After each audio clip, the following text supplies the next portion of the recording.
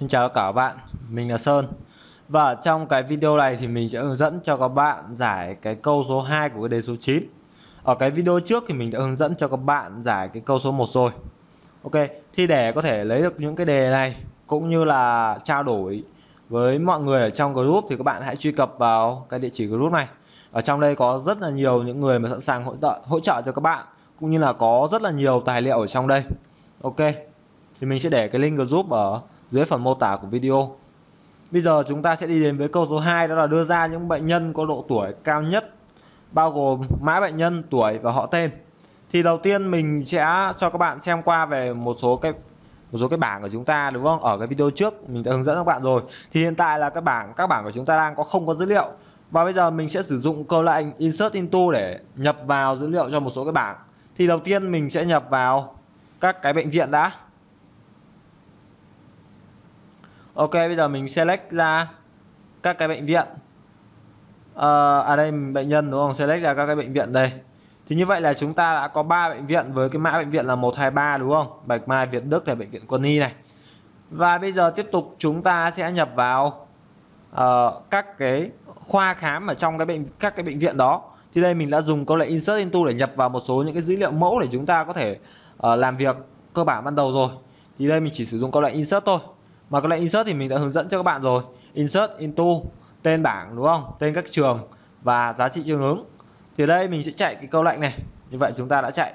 Bây giờ mình sẽ thêm sâu cho các bạn xem cái bảng khoa khám đó thì như vậy là chúng ta có các khoa 1 2 3 4 này mã khoa này.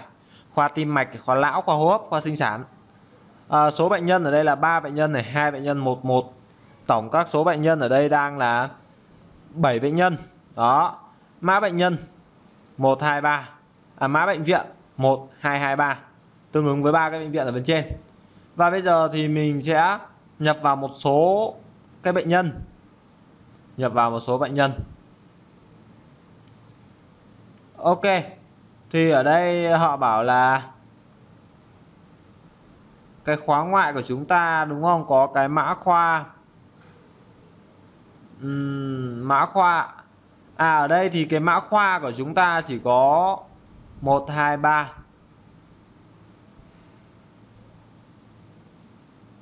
Mình sẽ xem lại cái bảng khoa khám nó sẽ ở đây có một lỗi sinh ra do khóa ngoại của chúng ta có vấn đề. Đó. À, mã khoa có 1 2 3 4 đúng không? Mình sẽ xem cái bảng bệnh nhân xem. à, 1 2 3 4 5. Như vậy là có hai bệnh nhân không thêm vào được. Thì lý do tại sao chúng ta không thêm được hai bệnh nhân này bởi vì là à chúng ta có thể nhìn thấy ở đây. Đây là một lỗi mà các bạn cũng rất là hay gặp. Đó là các bạn insert vào nhưng mà nó có một trường là khóa ngoại ở cái video trước mình đã tạo ra khóa ngoại này. Thì sao? Thì trong cái bảng khoa khám chưa có dữ liệu chưa có cái khoa đấy mà chúng ta nhập vào có khoa đấy như vậy là sẽ xảy ra một cái vấn đề mâu thuẫn về dữ liệu. Chính vì vậy đây là cái lỗi, cái lỗi mà các bạn cũng rất là hay gặp. Thì ở đây các bạn nhìn thấy hai cái bệnh nhân này hai cái bệnh nhân này thì nó có cái mã khoa này này đó là không. Trong khi đó cái bảng khoa kháng của chúng ta không có cái khoa nào có mã là không cả. Thế nên là nó xảy sinh ra cái lỗi này được chưa? Thì bây giờ các bạn sẽ thêm vào cho nó vào một cái khoa khác. Ví dụ như ở đây các bạn thấy là uh, khoa khoa nào có nhiều bệnh nhân nhất? Khoa này. Số bệnh nhân ở khoa tim mạch là có 3 bệnh nhân đúng không? Thì bây giờ chúng ta sẽ xem cái bảng bệnh nhân này. Khoa tim mạch. Ờ, mình sẽ sâu cả nó ra. Đây. Khoa tim mạch có 3 bệnh nhân. Mã khoa là một đúng không? Như vậy là mình sẽ cho cái thằng này vào khoa tim mạch đi.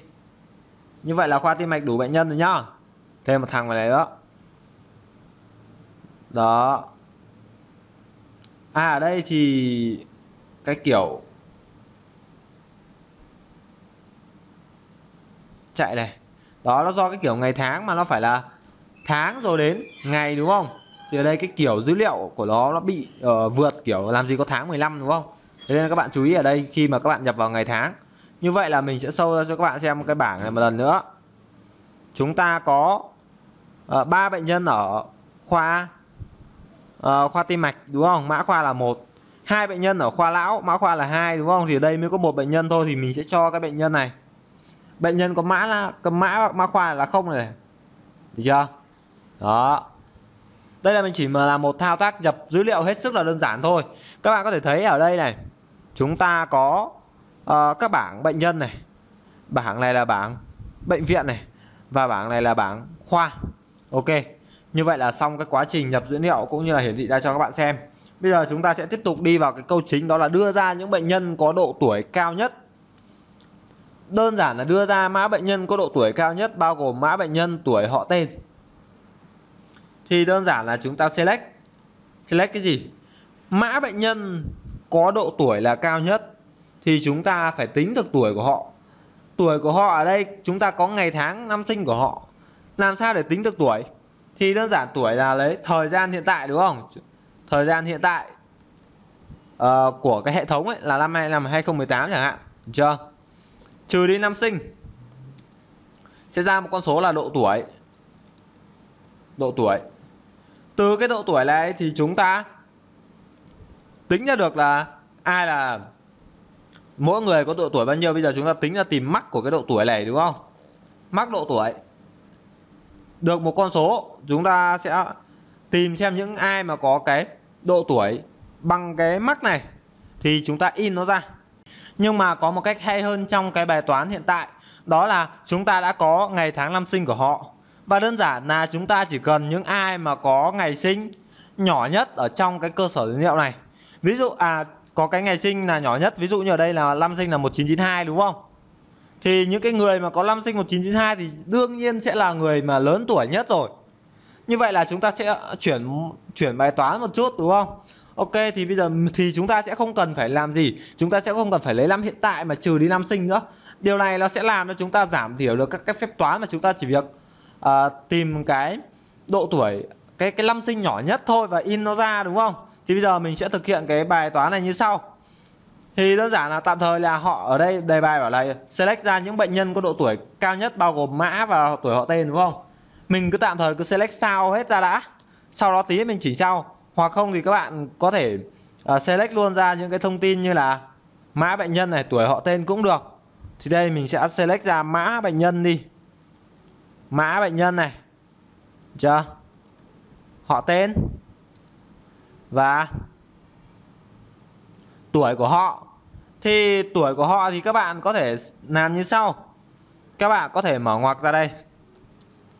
Các bạn ấy dùng hàm ria để lấy cái năm hiện tại chính là chúng ta sẽ cho hàm get date vào để nó trả về cái năm hiện tại.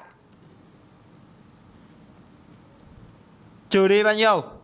Trừ đi cái hàm ria của cái ngày sinh của họ. Được chưa? Cái cột này thì mình ờ, gọi nó là cái đặt cho nó một cái tiêu đề gọi là cột uh, tuổi. Từ bảng nào? Từ cái bảng bệnh nhân. Chưa? Với cái điều kiện là gì? Với cái điều kiện là uh, cái năm sinh của họ được chưa? Cái year này. Cái năm sinh của họ. Năm sinh là chính là cái ngày sinh mình lấy từ cái ngày sinh của họ được chưa? Lấy cái year từ cái ngày sinh của họ đây năm sinh chính là 1992 này. Đó. Lấy cái năm sinh của họ làm sao? Bằng cái gì? Bằng một cái gọi là cái min nhỏ nhất chúng ta sẽ đi tìm những cái người mà có năm sinh nhỏ nhất ở trong đây. Được chưa? Chúng ta sẽ dùng cái hàm select thôi. Select ra cái gì? Min của cái năm sinh đúng không? Các bạn nhìn này min của năm sinh đúng không? À, năm 1992 là bé nhất đúng không? Thì những người như vậy là những người có cái năm 1992 là người à, lớn tuổi nhất đúng không? Thì đơn giản là chúng ta dùng hàm ria ở đây. Các bạn lưu ý chỗ này là phải ria nhá. Bởi vì là sao? Bởi vì là nó sẽ tìm cái min của cái năm 1992 cái năm sinh thôi chứ nó không tìm min của cả cái ngày tháng năm sinh là một kiểu date time. Thì đây chúng ta sẽ cho cái ngày sinh vào đây. Rồi from từ bảng nào? Từ cái bảng bệnh nhân. Ok thì bây giờ à, ở đây mình thiếu một cái ngoặc. Rồi bây giờ mình sẽ cho nó dễ nhìn hơn chút enter nó xuống. Đó mình nói lại này. Uh, select ra những thông tin cần thiết được chưa? Từ bảng bệnh nhân với điều kiện gì? Với điều kiện cái năm sinh. Bằng cái năm sinh bé nhất. Tìm đầu tiên, bước 1 là phải tìm cái năm sinh bé nhất ở trong đây. Vậy thằng nào có năm sinh bé nhất? 1992 là bé nhất, đúng không? Là cái năm bé nhất nhá, nhưng mà tuổi của nó là lớn nhất mà. Thế thì tìm những thằng nào có năm sinh bé nhất rồi? Cho nó ra, select ra rồi chạy. Đó, các bạn nhìn thấy chưa? Thằng này 26 tuổi. Mình sẽ thử tính một phép tính thôi. Ờ, 2018 trừ đi 1992 26 tuổi, chuẩn luôn, đúng không? Thì đây là cách để mà các bạn làm một cái câu lệnh có select lồng nhau. Ok, cảm ơn các bạn.